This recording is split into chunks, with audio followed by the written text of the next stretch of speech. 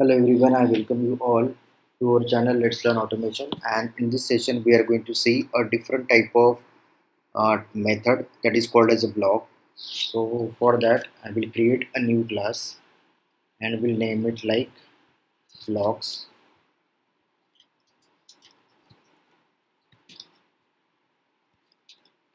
So first of all let's try to understand the concept over here so here I will write down the definition of that. So there are two types of block static block and instance block. So static block is executed at the time of loading of class in a JVM memory we can say that. So if we need to write down the static block then we can write down like here in a class just you can use the word like static and this is what the static block so I will write down here statement. This is static block so this is what the static block and it is going to loaded into uh, memory whenever class file is going to get loaded. So that's why we can say that first of all static block will be executed. Then there is a instance block so if we create the block like this so this is called as instance block. So I can write down one sentence over here. This is instance block. So the difference is like st static block having the name as static and this block does not have any name. So that is called as instance block. So it is like a method which has no name. Then we can write uh, instance block inside the class not method it is executed before the constructor. So this particular instance block is going to execute it before the constructor. So first of all static block will get executed. Then instance blocks uh, block will, get, uh, will be executed. Then other things will be executed depending upon the our calling or we can say that if we are going to create a constructor or using the constructor so constructor will be executed. So first of all static, then instance, then constructor, then method depending upon our calling. So it is executed before the constructor. Then variable can be declared inside the instance block, not a method. So in this block, we cannot declare any method. Then to execute instance block, object should be declared. Means for execution of instance block, we need to create the object of the class.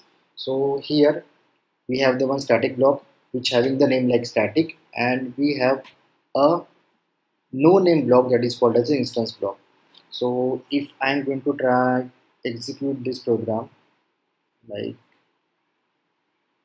this. So we are getting we are getting the output like this is the static block. This is the static block. We are not getting the output of this instance block because this block will get executed if we are going to create the object of the class.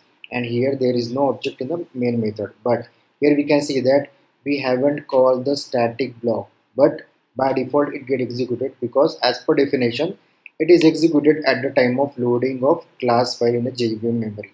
So whenever the program is going to execute first of all if there is a static block then that is going to execute first then if we declare the or create the object then instance block will get executed and other rest of the thing. So here I will create one object like block class name object name like this. And now if I execute it so we are getting this is a static block the first and this is instance block. Now if I try to create uh, the constructor. So like this is our constructor. I will write down like this is constructor so now if I execute this again so here we can see that we are getting the execution of static block instance block and constructor. So if we create the object then instance block, uh, block will execute. And if we have the constructor in a program then definitely constructor will be executed. And now if we have any method so like void m1 the name of the method can be anything and I will write down here this is m1 method. And now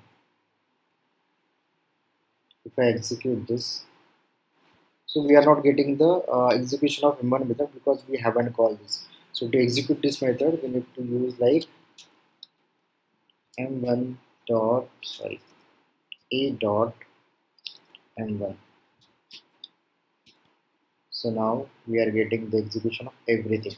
First of all static block then instance block constructor and finally m1 method because we call this method. So if if uh, in our program all these things are available then first of all static block is going to execute because that is first of all loaded into the memory. Then the instance block will, will execute. For execution of this block we should have object available. Then if there is a constructor then definitely after that constructor will be executed constructor will be executed. And if we have the method too then depending upon our calling method will also get executed. So these are the two different type of thing like static block and instance block. Thank you